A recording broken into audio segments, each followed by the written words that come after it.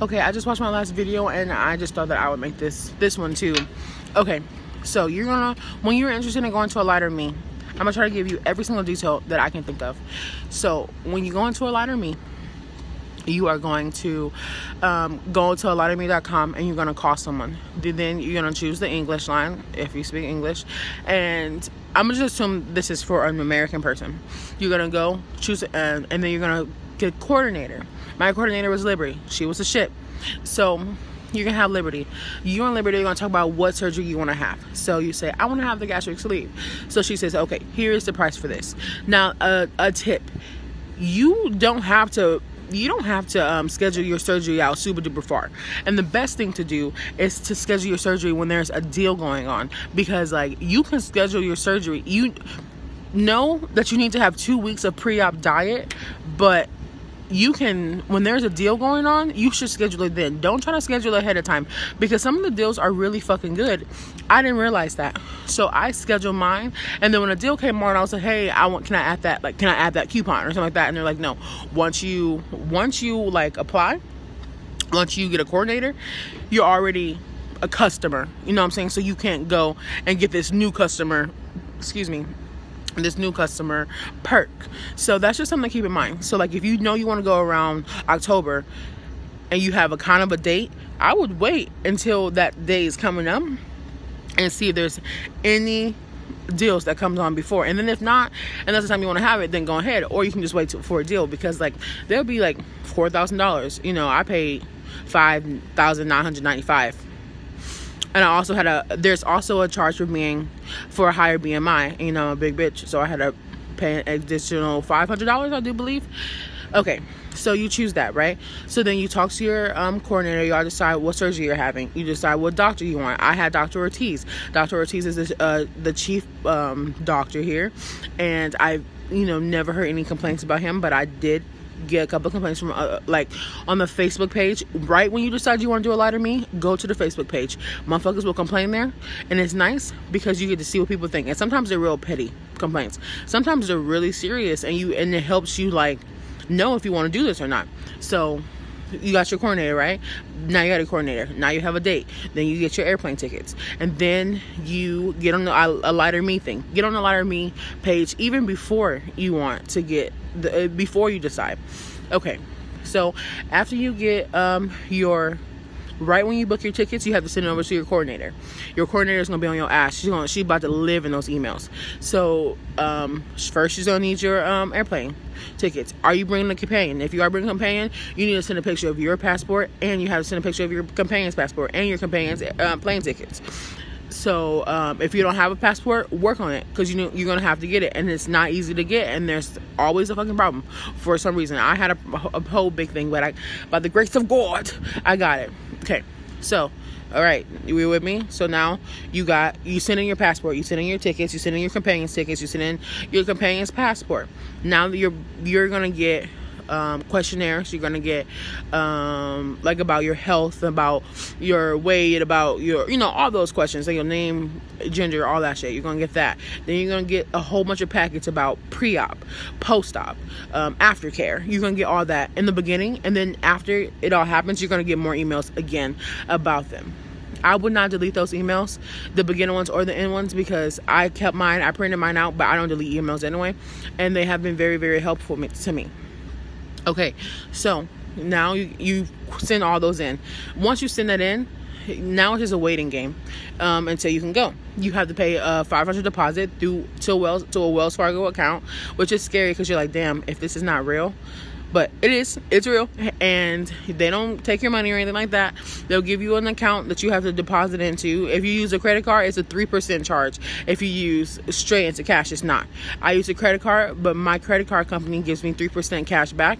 So i didn't really that's why i was like i'm okay with that.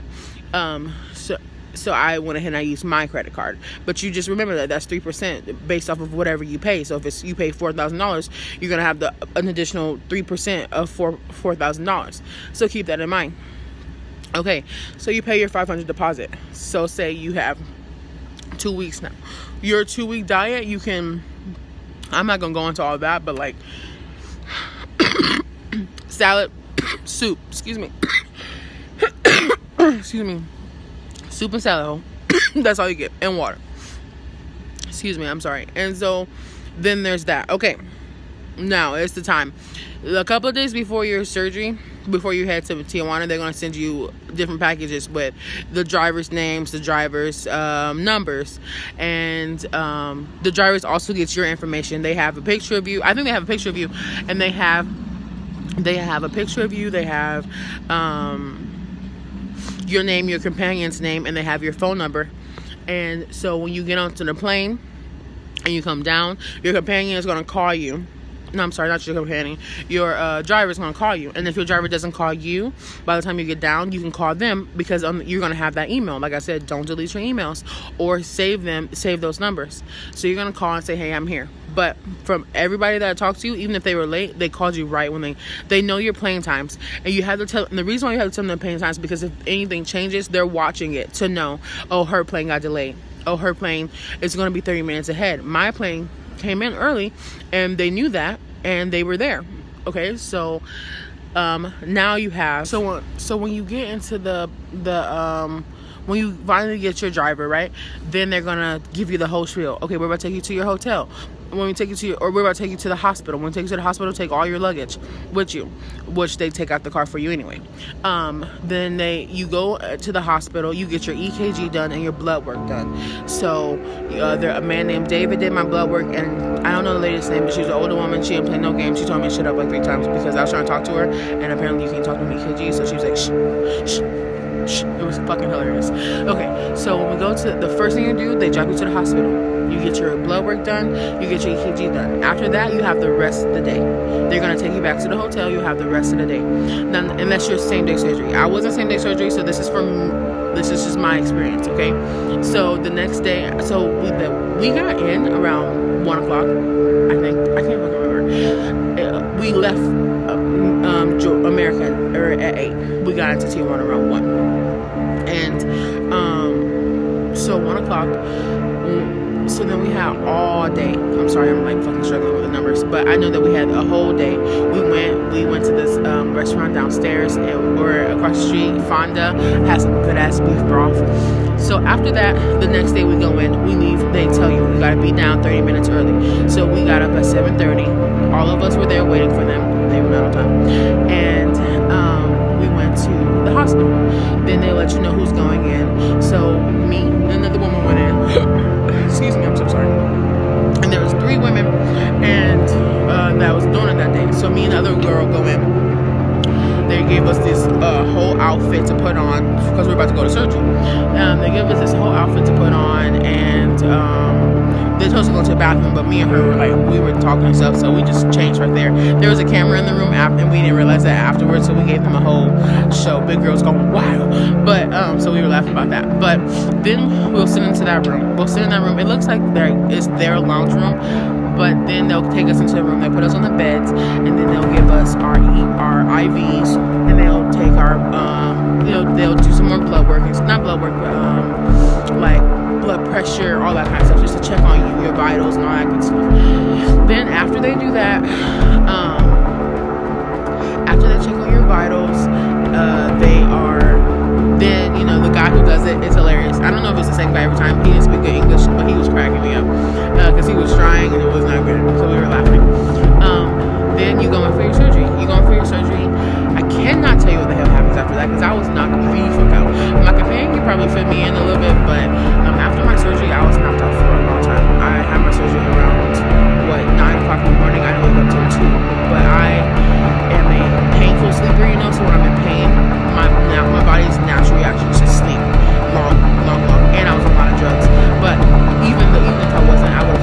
that's just like my thing. Like when I'm hurting, I go to sleep. That's just always how I've been. So I slept a lot. So once we do that, you have people coming in. Um, um, clockwork with medicine. They're gonna give you nauseous. Um, they're gonna give you something for nausea, something for pain, and something for um, um, acid reflux. No, no, no, pain, nausea, um, antibiotics, and there was a third one. I can't fucking remember right now. Sorry, but they give you three different things. Um, and they just come in like clockwork and give it to you. And then you have to get up. You have to play you have to to avoid getting bronchitis i think that is or uh, pneumonia. It's to avoid getting pneumonia they give you this little tool that you have to blow to keep a ball like in the middle to keep a ball like in the middle of like this little tube and you have to blow it for a long time to stop you from getting pneumonia. And then every hour you need to walk for 15 minutes and your companion is supposed to make you do that. So um, after that, after you sit into the hospital for, you're gonna be in the hospital for two days, walking every day or every hour, um, getting your fluids in. Once you can start getting fluids in, they give you ice chips for the first day, and then the second day you get to get you get to get Gatorade and water and apple juice. Then, um, when you get back so you're going to be in the hospital for two days when you get out of the hospital so i had to come back and change my scenery but let me just finish off what i had to say so one okay so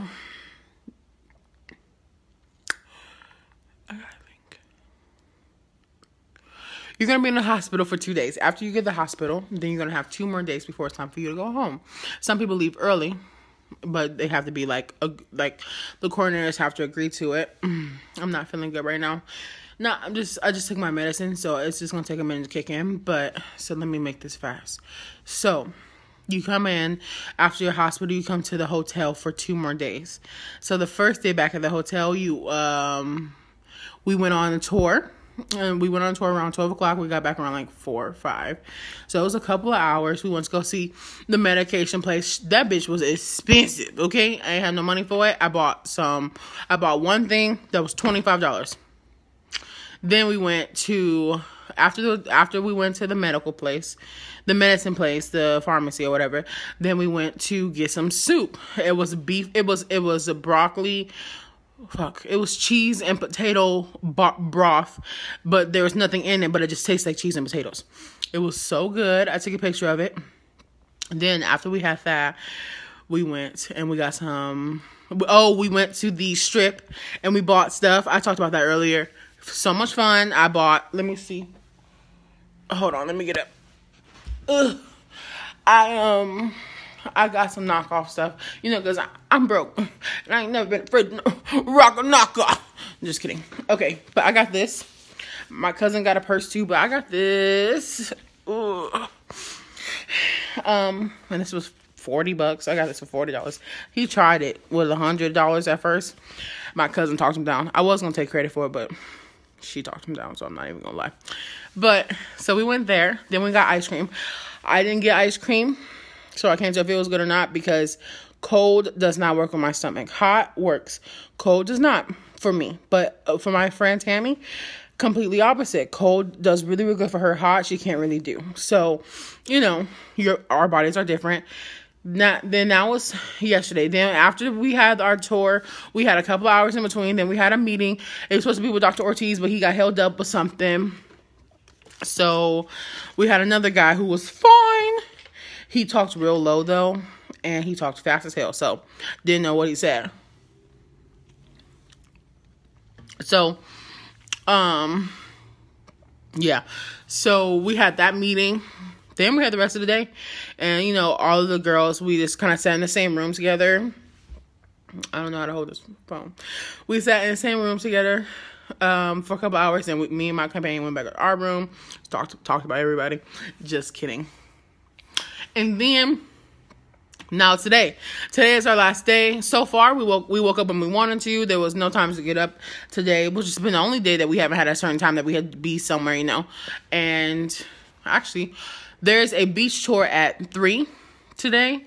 I don't think I'm gonna go though. I just um, don't really want to go. My companion kind of wants to go, and so if she wants to go and she wants me to go with her, I will. But I'm not really I'm really okay with being in the house. I'm not. I've never really been into beaches and stuff like that. Like, I don't want the sand on my toes and stuff, and etc. etc.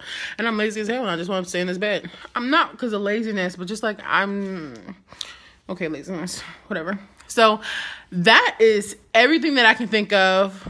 Um, if you think about the process or anything like that, like that's everything in a really short nutshell of what happens, of what you should expect.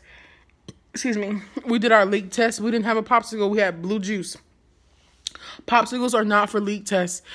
Popsicles are for what we can eat. but we didn't have a popsicle for leak test. We had some blue juice that tastes like ass and life regrets, and we um drunk that. And then they made us drink some damn water that tasted like more as and then they did this little x-ray on our chest to see. And that's how we got approved to go to the ho- the hotel after the leak test was finished. So that had happened before we went to the hotel which i probably should have told you that earlier. But i thought about it just now. So but um